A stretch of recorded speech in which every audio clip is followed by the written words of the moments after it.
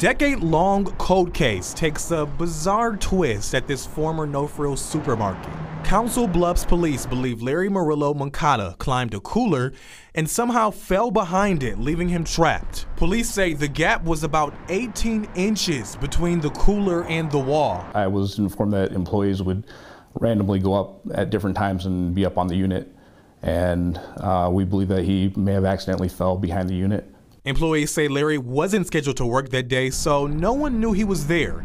Hours before he vanished, his parents told police he was upset and ran out of their home. The mother, she kind of had an idea that he had never left the No Frills. I don't know how she came up with that idea, but um, you know they were they were pretty upset. Investigators believe his death was an accident. They call this one of the oddest cases they've worked on. You don't hear about these type of cases. People found in walls especially in this area. So that's that would be the odd part about it. We have missing persons all the time, but uh, you know this is just unique.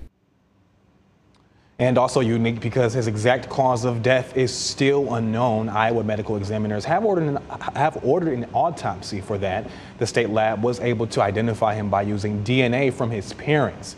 The No Frills store on West Broadway closed back in 2016. Back to you.